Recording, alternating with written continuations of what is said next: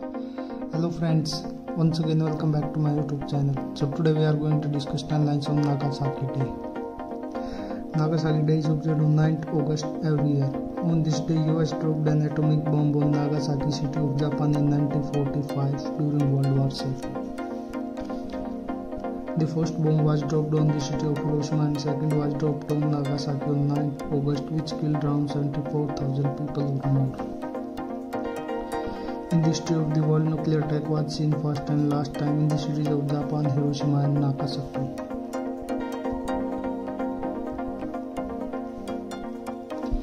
The bomb was used on Nagasaki was more powerful than Hiroshima.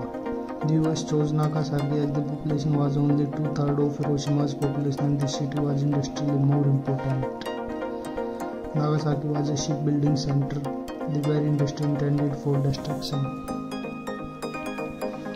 This is observed to promote peace and create awareness about the threat of nuclear weapons and effects of the nuclear energy. The bomb name was Fat-Man.